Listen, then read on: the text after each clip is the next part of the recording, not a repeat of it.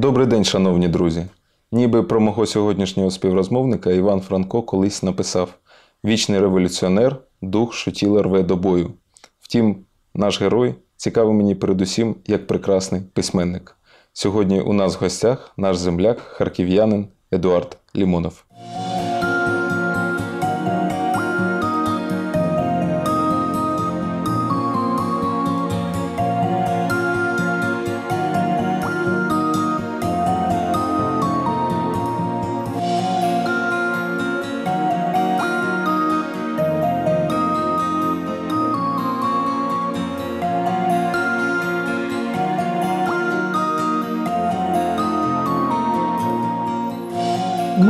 То, что должны быть э, э, представлены все э, российские сословия, и в том числе сейчас нет в полном смысле этого слова рабочих и крестьян, да, все это изменилось, ситуация никогда не повторяется. Сейчас нет ситуации начала 20 века, она другая другая. И уже Маркс, э, Маркс был когда-то прав, да, он объяснял какую-то ситуацию, которая еще не было в его время но которая появилась вот где-то вот в начале 20 века. Сейчас ее уже нет.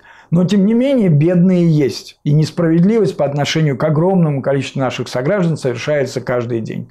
Хотя бы тем, что они вот э, лишены э, лишены э, э, благ, да, лишены недвижимости. Когда разделяли СССР, то никого не, никому ничего не, не предлагали. Разделили эм, как, разделили как ну, вот удельные князья. Там набросились на добычу, вырвали, а, а простым людям ничего не досталось досталось только тем, кто стоял рядом с властью. Да?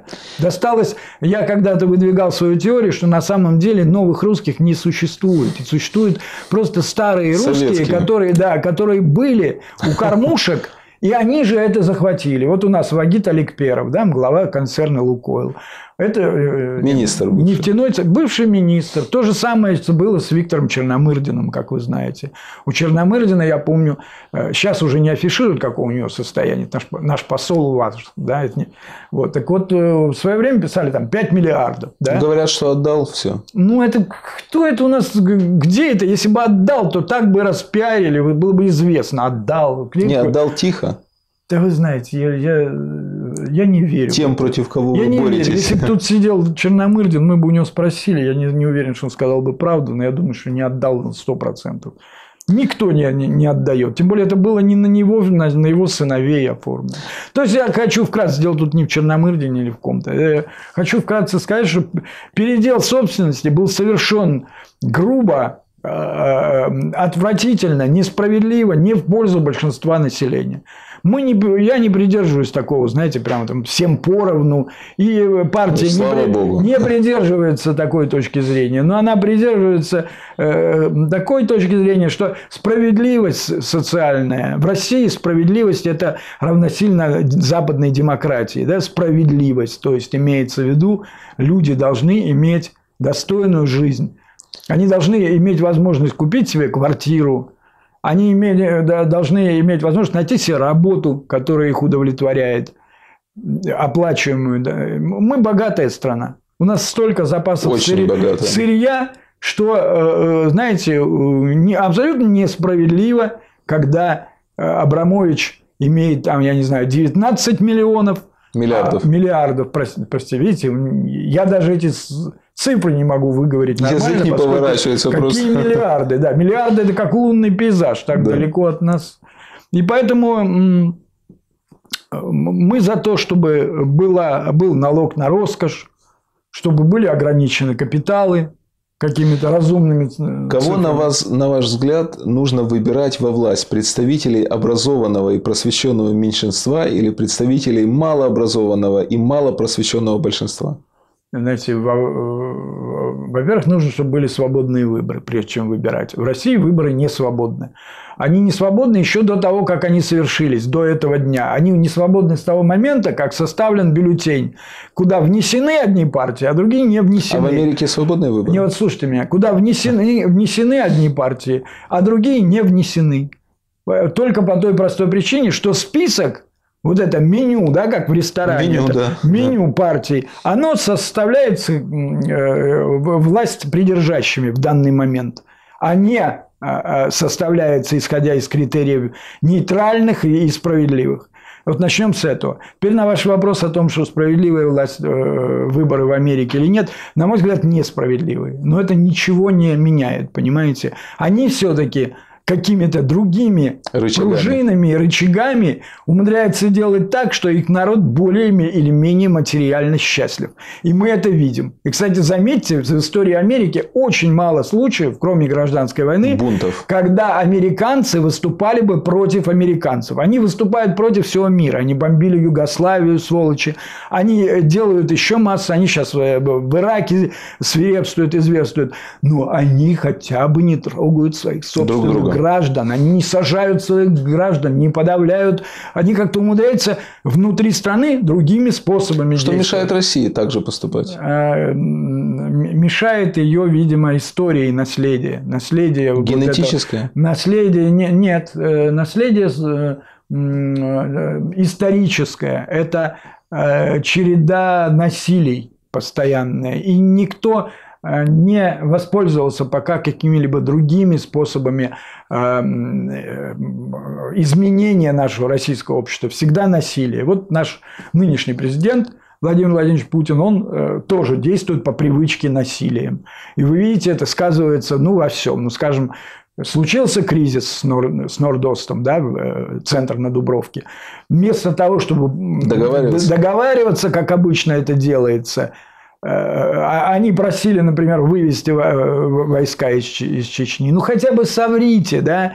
Ну, снимите, пошлите телекамеры. Вот снимают войска, которые уходят там куда-нибудь из... э, Ради из спасения жизни людей. Да, из Чечни в соседний край. Ну, верните их через два дня. Ну, соврите, да, солгите. Это нехорошо лгать, ну, хотя бы так, да. Спасение. А они, они же сказали, что мы выпустим всех детей.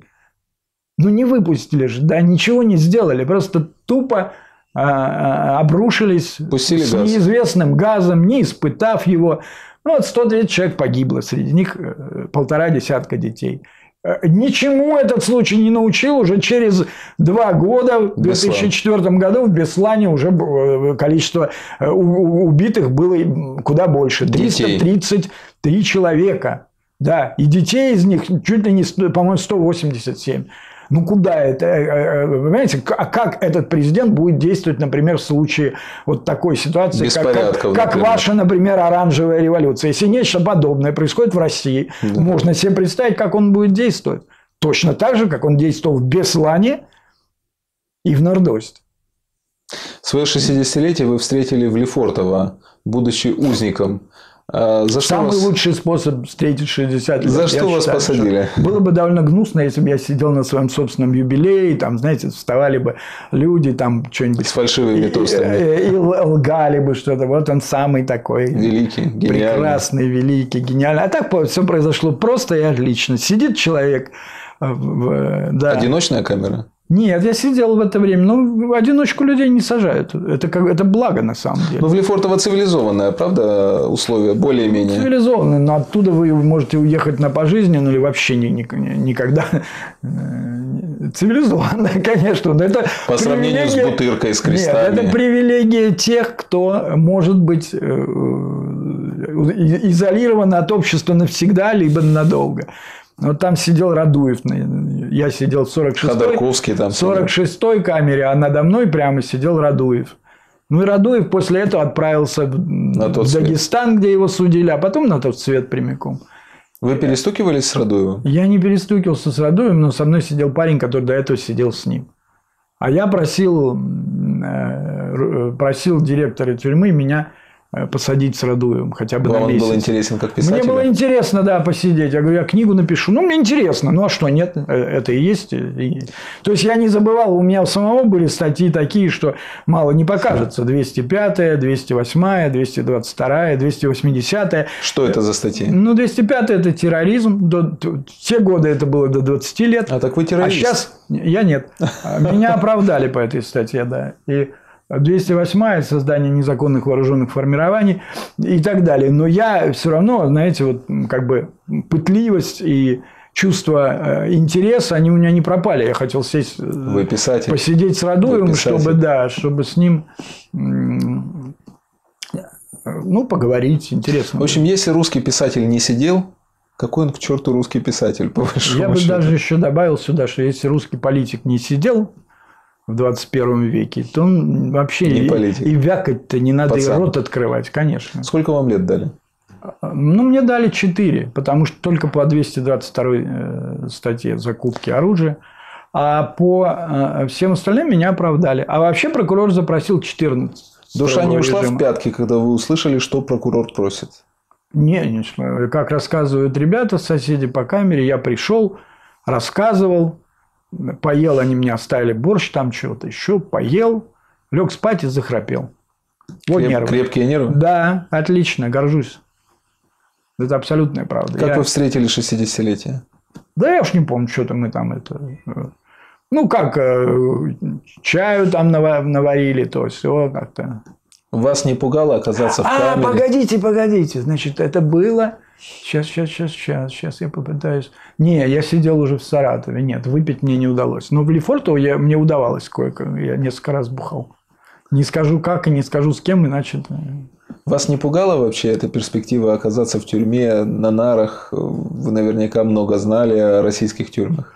Ну, знаете, э, ну, а что, меня не... Ну, тюрьма и тюрьма. Ну, первые несколько не- недель адаптируешься, потом адаптировался, живешь дальше. Встречаешь- Сокамерники. Сокамерники были- Нормальные люди? Сокамерники были супер интересные, все. э, Ну, это люди, не, это не, не люди, э, как какие-то там укравшие моток проволоки. Это все серьезные люди. Вот э, у одного моего соседа в Лефортово была 209 статья «Бандитизм». Он там продавал оружие чеченцам и вообще такой, хотя молодой парень, 26 лет, вторая судимость. А потом я сидел со множеством всяких вот, э, и сидел с чеченцами, вот одна, с, э, сидел со Асланом Алхазуровым, один из э, радуевцев, который тоже проходил с ним по делу. Ну, сидел с тучей всяких разных Не было людей. угрозы для жизни в тюрьме? Нет. От сокамерников? Знаете, угрозы создаются только тогда, когда администрация этого хочет. Администрация не Да, хотела? а, а так, э, а так какие могут быть угрозы? Э, На самом деле большинство, э, ну все тюрьмы, в которых я сидел, это красные тюрьмы. В черную меня просто не посадили бы, потому что я должен был быть под контролем. Поэтому я сидел в красных тюрьмах, то есть где я сидел в трех в общей сложности. Вот я сидел в Лефортово, в третьем корпусе Саратовского Централа, это для особо опасных такой корпус, значит, третий, третьяк, как его называли, и, и сидел в, в тюрьме внутри лагеря в- возле города Энгельса. В тюрьме э, ст- получается строгого режима, потому что лагерь строгого режима. Во время следствия еще сидел. Вы а потом знаете- сидел в красном лагере, в, тоже возле Энгельса, в, степ- в Заволжских степях. Вы знаете, я сейчас подумал, что в советское время, даже учитывая тот репрессивный аппарат, который был в Советском Союзе, не додумались посадить ни Сахарова, ни Солженицына.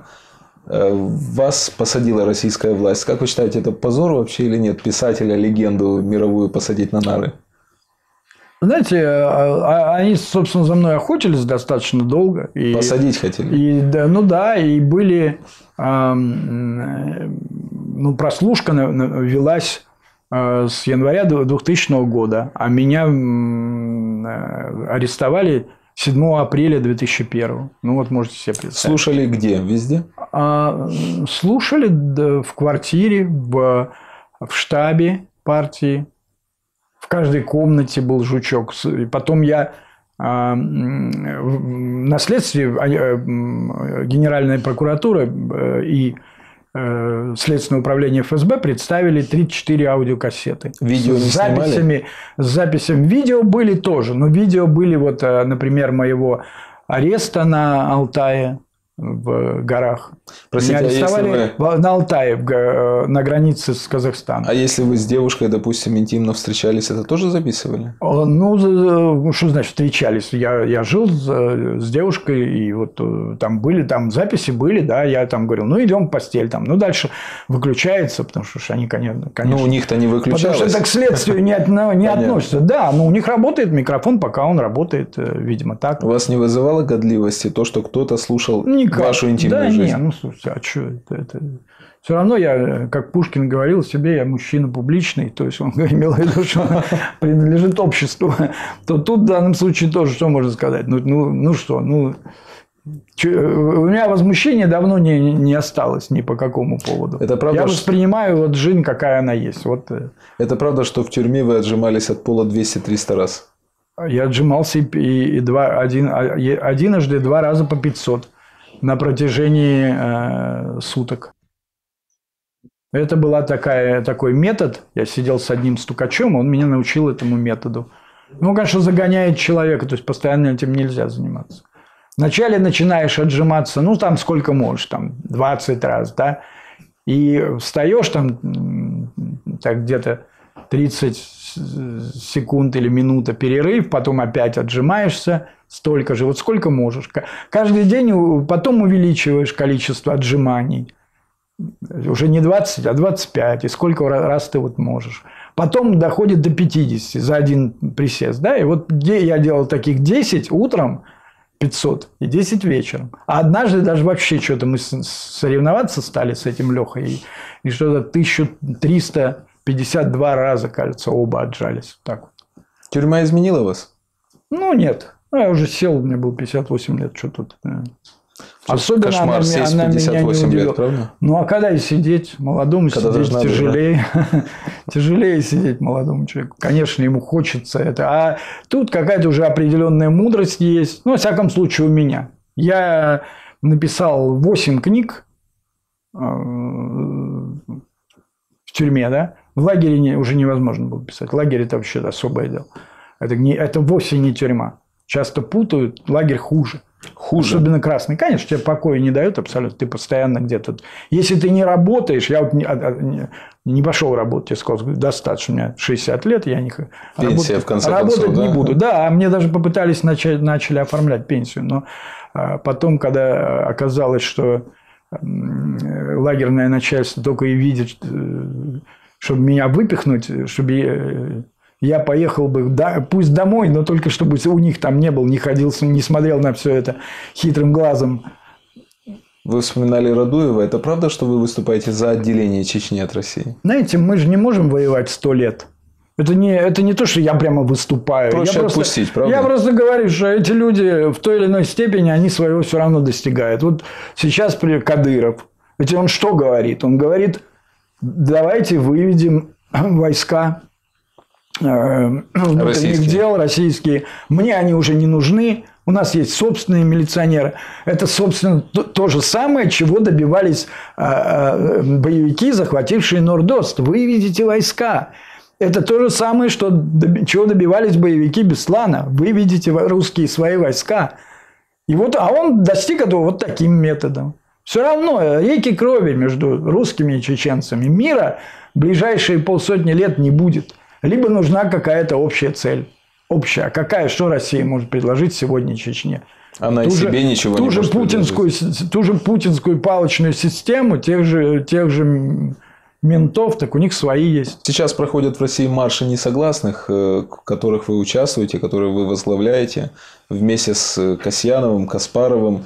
Что общего у таких разных людей, у чемпиона мира по шахматам, бывшего премьер-министра и такого писателя, как вы? Ну, знаете, с обывательской точки зрения ничего, конечно. А с другой э, стороны, и с Каспаровым у меня много общего, ну, например, больше, наверное, чем с Касьяновым, поскольку и он тоже человек, э, пришедший из, э, не из бизнеса, не из политики, а пришедший из мира шахмат. Он чемпион- Интеллекта. чем из мира интеллекта, совершенно верно. А, эм, Поэтому эм, с первого взгляда, как вот обывательским глазом, вроде нет. А на самом деле очень много. Мы все за э, то, чтобы Россия стала э, страной свободной, чтобы были возвращены людям выборы всех уровней. И добавлены еще выборы, так скажем, мы настаиваем, партия настаивает, на том, и всегда настаивала, да, а, а, а, чтобы были выборы судей, например, вплоть до судей, милицейских э, начальников, выборы э, глав отделений милиции. Тогда эти люди будут Э, уже подотчетны не перед администрацией президента, а перед людьми, которые могут их завтра и не выбрать в следующий раз. Вот как надо делать. Выборы губернаторов вернуть, чтобы э, выборы в Госдуму были бы действительно свободными, чтобы в это меню, о котором мы с вами говорили, в бюллетень входили бы э, все блюда. Входили бы реально существующие партии а не только те, кто мил Кремлю и кто а, значит, э, к ним лоялен. Одно время вы были близки к Жириновскому, но потом вроде что-то не сложилось, вы рассорились. Было такое? А я работал с ним, да, в 92 году в основном. А, ну, в течение года. А потом мы уже вместе не работали. Я познакомил его с Жан-Мари Ле Пеном, устраивал его первый приезд в Париж в сентябре 92-го. А потом наши дороги разошлись. Я написал книгу «Лимонов против Жириновского». Там все есть. Жириновский проект КГБ? Нет, я не думаю. Он давно... Сейчас его называют проектом Кремля. Он ориентируется на Кремль. Но он создал свою партию, отличную от других. Вот она существует. Она похожа на Жириновского, как две капли воды. Мне приходилось слышать, что вас финансирует Березовский. Это правда? Нас не, на самом деле никто никогда не финансировал. Отдельные какие-то э, деньги мы иногда получали от разных людей. Но когда я сидел в тюрьме, например, то э, помогали разные люди. Например, Александр Проханов отдал там 10 тысяч долларов, так сказать, своей премии «Национальный бестселлер» он отдал мне, потому что нужны были деньги и адвокатам, и на переезды, на приезд свидетелей в Саратов, ну, масса, масса денег. И, и Березовский тоже а, при, прислал, если не ошибаюсь, тогда не мне, естественно, сидел в тюрьме, 10 тысяч долларов на это благое дело, которое шло не на меня только, а еще там 6 а, обвиняемых наших и и процесс. Не могу удержаться, чтобы не зачитать еще несколько ваших цитат. Избрание Путина – это хитрая азиатская авантюра старого алкоголика Ельцина. Как интеллектуала, интеллигента, автора 42 книг, меня унижает и возмущает эта власть. Она не моя власть, гнусная, архаичная, она сродни царизму в его худшем проявлении. Раболепность, разлитая по всей стране, вызывает тошноту. Достаточно выехать за МКАД, чтобы увидеть покосившиеся домишки, спившихся людей несчастные лица. На кого рассчитано телевидение, рапортующее про победы? Еще одна цитата. «Россия без Путина. Вот наш лозунг. Полицейский режим в России сменяется фашистским режимом». Ну да, я совершенно за, под всеми этими словами опять подпишусь, да, это совершенно верно.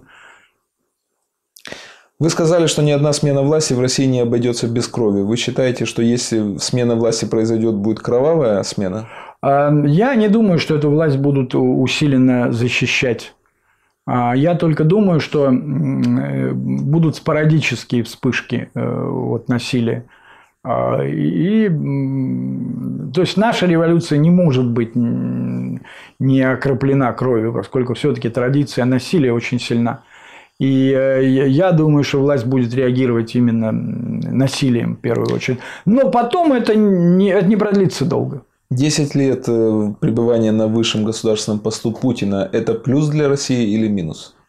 Ну, не 10, 8 пока. Ну, 9 это, будем считать, да? Это, это гигантский минус. Я лично не вижу его заслуг ни в чем. Я вижу только, эм, только эм, ошибки, а, преступления режима и огромную дозу насилия во всех областях жизни. Я думаю, вы согласитесь со мной, что Путин все равно уйдет, на третий срок не останется. Этого никто не знает. Это э, люди высказывают различные мнения, и я тоже не могу до конца быть уверенным. Я э, поверю только тогда, когда действительно свершится. Когда это свершится, да. Предположим, что ушел. Кого вы видите преемником его? Я бы хотел, чтобы это был э, кто-то из кандидатов оппозиции. Безусловно. Фамилия есть? Ну, фамилия. Вот мы у нас а, коалиция «Другая Россия» обсуждала э, и продолжают обсуждать оживленно возможности выдвижения либо э, Касьянова, либо Геращенко на пост э, кандидата в президенты. Вот. Но посмотрим, что, э, собственно, будет. Увидим. Э, Я думаю, что вы не можете не следить за событиями в Украине. Э, В России говорят на Украине, мы говорим в Украине, но это не имеет в Украине, значения. да, слежу, но не так уж прямо, безусловно, там не, не, не сверхпристально. Ну, вот когда период этой оранжевой революции смотрел более пристально. Вам нравилась оранжевая Сейчас, революция? сейчас смотрю с некоторым замешательством, хотя тоже понимаю, что то, что происход- происходит сейчас, это как раз э, вот эта чехарда, смена, там, борьба вла- властей. Но я отношу это скорее все-таки за счет а, э, свободы э, существующей в, в Вам, Украине. вам нравилось, как революционеру, происходящее во время А, Мне нравились революции? люди. То, что их использовали, э, и с одной стороны пытались, и с другой, и использовали, в этом нет никакого сомнения. Но то, что у людей на Майдане и там вокруг были вполне счастливые лица, и что каждый, видимо, вышел в надежде э, изменить свою личную судьбу, кроме всего прочего еще. Э, Это, несомненно, было. Как и то, к сожалению, что э, я так Людей полагаю, что люди остались разочарованы, поскольку в их личной судьбе, насколько я понимаю, мало что изменилось. Как вы считаете, сегодня в Украине демократия? Знаете, я все-таки вот не сторонник таких как-то о- общеобъемных таких э, обобщающих и Свобода? одновременно одновременно э, э, ну банальных слов вот когда говорят там демократия демократия Свобода личности. А, Давайте я- из того, что я знаю, мне кажется, что в Украине больше свободы, чем в России, безусловно. Много больше и политической свободы, и, видимо, личной свободы. Вот наших, например, граждан уд- удивляет то, как мало милиции э, на, э, на улицах украинских. Очень мало. Да. А э, в то время как здесь, в России, это избыток. Особенно вот подъезжая к моему дому, тут, тут их э, тоже Следят, следят по-прежнему, да? Нет, ну они иногда там высылают патрули, там эти в форме, там. Это я- я-то на свою судьбу, так сказать, не жалуюсь. Это моя судьба, я ее выбрал. И С 2003 года вы не въездной в Украину. Почему? а не только, э, я думаю, что и раньше меня не очень-то жаловали. Но почему? Э, Это надо спросить у вашей службы безпеки. Там, э, когда меня остановили в, на КПП Гоптевка, да, в июле 2003 года, когда я ехал к родителям вместе с моим адвокатом на его машине, то э, мне сказали, э, что есть два постановления СБУ по моему поводу. Одно от ноября 99 года, а второе почему-то марта 2003. А, Ну, а, а мне сказали, что они не имеют права разглашать постановление СБУ. И э, э, мне показалось очень э, э, наиболее не- не- нелепым э, из этих двух постановлений это второе. Я в то время сидел в тюрьме и, и ждал приговора. Приговор был оглашен 15 апреля. То есть, что я успел натворить, чтобы, значит, еще следующий, я ничего не мог натворить. И вообще, кстати говоря, против меня в Украине не возбуждено уголовное дело. Я не, не разыскиваюсь ни в каком качестве. Поэтому крайне Давайте мы все-таки странно. Вообще будем... не был на территории Украины с 94 года. Давайте все-таки будем надеяться, что этой программой мы внесем какую-то лепту в то, Это чтобы вас я пустили. за себя ничего не прошу и никого никогда не просил. И э, просить никогда не буду. А вот мать моя, да, она, конечно, Она нуждается ведь в живет том, до чтобы, сих пор в Харькове. чтобы ее сын все-таки хотя бы приехал. Она, ей будет вот в августе 86 лет. Чтобы ее сын приехал. И она меня иногда винит в этом. э, Вот ты выбрал себе такую судьбу, вот тебя не пускают. Я говорю, я не могу э, э, отвечать за действия правительства, ни российского правительства, ни тем более украинского правительства, которое вот а, ведет себя достаточно бесчеловечно по отношению к моей матери. И снова цитата. Государство... Чума на оба их дома. Государства по природе своей некрофилы любят мертвых писателей. И вторая цитата. Гоголь и я самые крупные украинские писатели за последнее время. Так и считаю, абсолютно, да. Так и считаю. Вполне думаю объективно, на самом деле.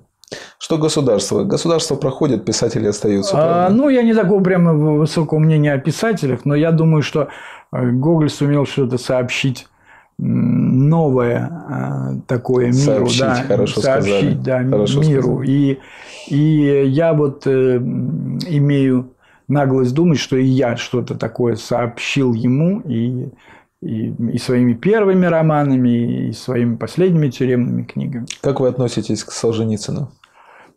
Отношусь, э, относился на протяжении моей жизни по-разному. А отрицать того, что он есть, э, не могу и, и, и не буду. А, но э, считаю, что он заблудился во всех смыслах.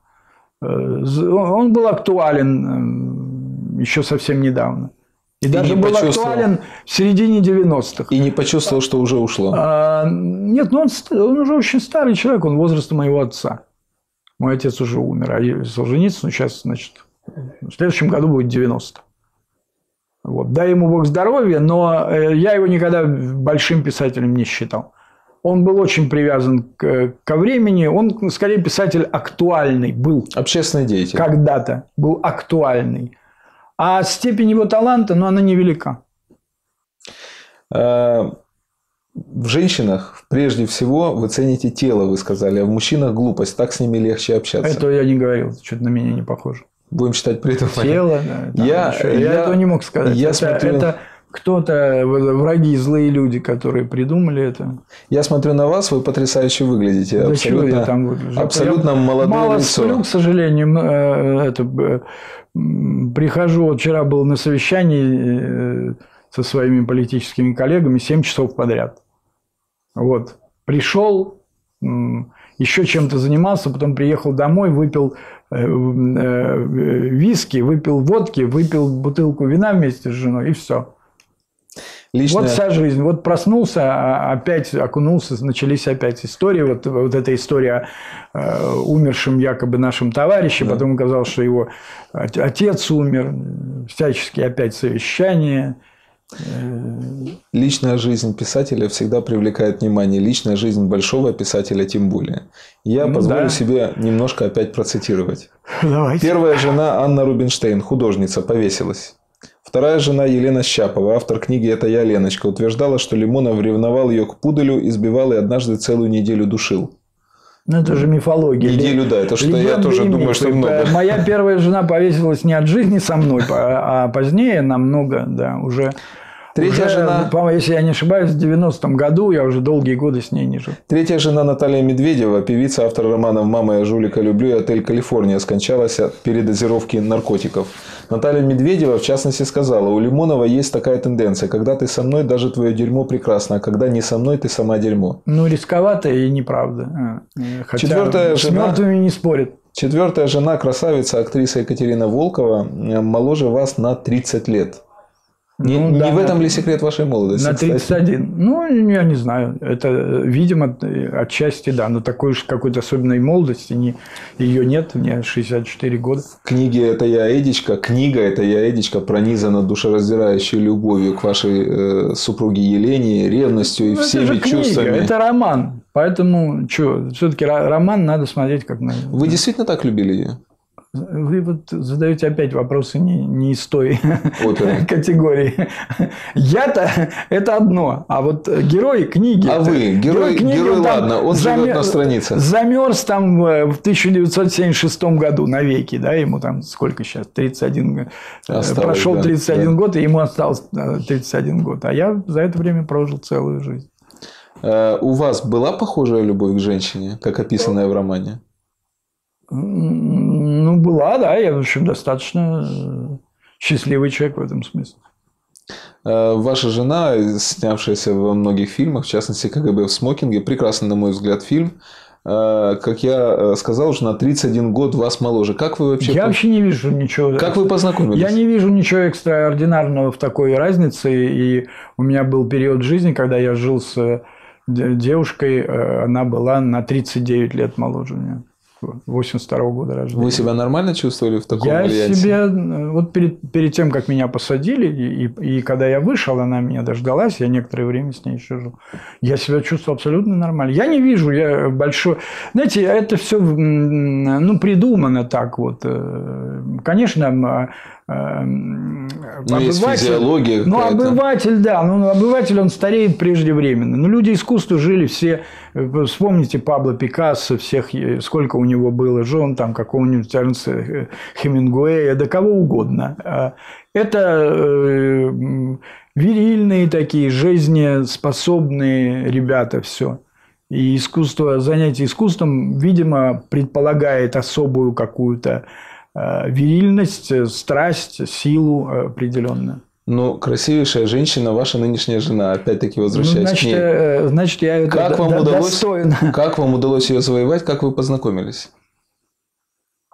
Познакомились на выставке моего когда-то приятеля парижского.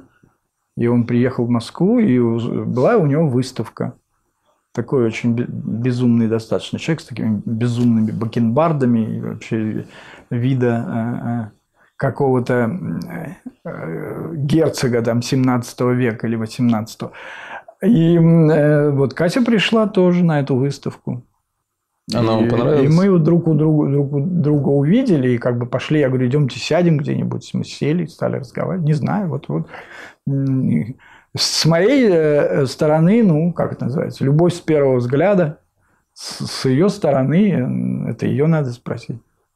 Э, вам есть о чем с ней говорить? У вас есть общая Мы тема? все время разговариваем, только и делаем, кроме всего прочего, еще занимаемся разговорами. Э, книга «Это я, Эдичка», я опять цитирую, вышла в Париже под названием «Русский поэт предпочитает больших негров». Все, что написано про больших негров в этой книге, это тоже касается только персонажа? Ну, знаете, это название мы придумали, эм, глядя на... Сидели с издателями, два издателя у меня были. Один из них великолепный французский издатель Жан-Жак Повер. Очень известный, не знаю, жив ли он сейчас, понятия не имею, связи с Парижем не имею. И мы придумали название, которое захватило бы читателя, и увидели э, э, альбом такой э, а Мерлин Монро назывался он «Джентльмены предпочитают блондинок». Ну, и я, я цинично придумал название для вот этого французского издания книги. Только и всего. А все остальное это, это роман, это вымысел, разумеется. То есть большие негры это касалось только Эдички, героя романа. Э, вы э, э, пытаетесь меня каким-то образом дискредитировать, нет, я вижу. Нет. Вам это нет, не удастся. Ни в коем случае. Я пытаюсь, я даже напрямую задам вопрос. Я пытаюсь спросить вас, вы бисексуал я или нет? Не, нет, абсолютно. Я сказать, э, любитель дам навеки и до конца дней моих. На самом деле, нас сейчас смотрят я многие написал... люди, и они понимают, что в больших неграх тоже, наверное, нет ничего Вы знаете, страшного. Я, когда писал свою книгу, даже псевдонима-то такого Лимонов не было. Я, я, может быть, рискованно как-то это а, потом взял этот псевдоним. Но это опять была а, необходимость, поскольку у меня были отец с матерью на, а, в России еще тогда. И Отец мой работал, у него были неприятности. И я думал, что, может, не надо ничего усугублять, и не подписать, не надо было подписываться Савенко. Да? Ну да. А сейчас я, я люблю мою украинскую фамилию, я бы не стеснялся, ее бы употребил сын, сын мой, э, Богдан Эдуардович Савенко. В 96 году вы заявили, что у вас приблизительно двое детей. Сколько у вас сегодня приблизительно? Сегодня у меня эм, одна девочка от э, Катина, да, у нас в семье, ей 14 лет, Валерия. И вот Богдан мой сын, который есть... родился 7 ноября э, прошлого года, 2006. Как у настоящего революционера. Он родился, да, он подгадал так, Потом э, ФСБ распускало слух, и я знаю точно, потому что это люди говорили э, нашим ребятам, что, что вот э, кесарево сечение специально сделали, чтобы дату, ну это ложь и вранье без. То есть у вас на сегодняшний родился день хорошо, двое. легко, без проблем. И... То есть у вас на сегодняшний день двое детей? Да, у меня на иждивении двое детей. На иждивении? А... На иждивении. Ну, Богдан а на иждивении... мой рожденный сын, а этот э, Лера от, от, э, от первого брака Катя. Других детей у вас нет? Других нет, насколько мне известно. Э, насколько я читал, вы собираетесь готовить своего сына Богдана в президенты Украины. Идея ну, это актуальна или шутка, нет? конечно, это шутка. Он сам себя приготовит куда угодно. Но я бы не, не возражал, а что, отлично. Отлично. Богдан Савенко. Все. Годится. Годится. Ну и, и папа тоже как-то. Рекомендация уже какая-то есть. Он такой умный, он очень э, Умный, Слава богу, есть упрямый, жесткий такой и, и красивый. У него такие ресницы, как у Кати. А, моя, мой нос там, э, череп мой там и прочее. Пальцы, как у бабушки. Тонкие такие. И вообще парень уже крупный такой, еще 7 месяцев, 8 нет. Сейчас на вас смотрят миллионы людей, и я ну, не я им исключаю, посылаю свой тоже привет. э, всем я не исключаю, людей. что э, очень Со всем много... доброжелательством, пусть э, это Я не исключаю, стороны. что по ту сторону экрана Всем э, желаю, как бы, ну, чтобы жизнь была сносной, а временами красивой, экстравагантной. И э, главное в жизни что смена там. Все время жить в нищете плохо, в богатстве тоже скучно. Но вот так вот что-то между этим. Хорошо и в тюрьме побывать тоже не так, не, ненадолго, долго не надо. не так страшно, А, да? Да, да.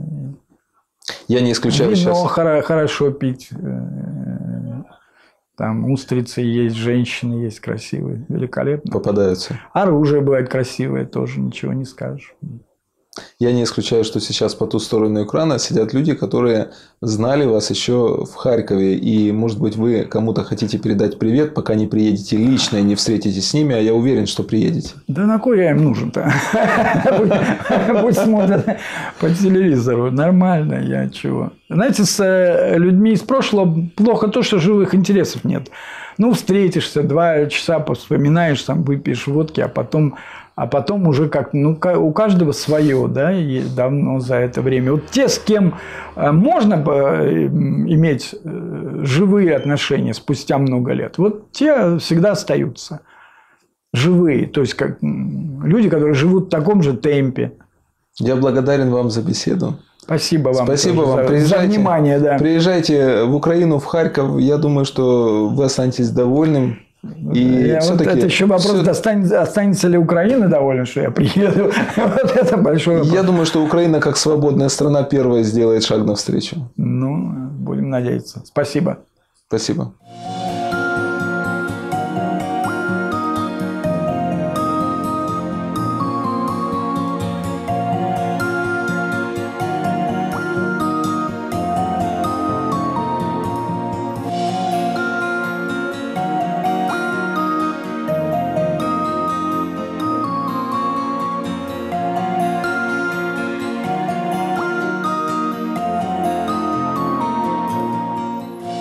Шановні друзі, сьогодні у нас в гостях був видатний письменник, наш земляк, харків'янин Едуард Лімонов.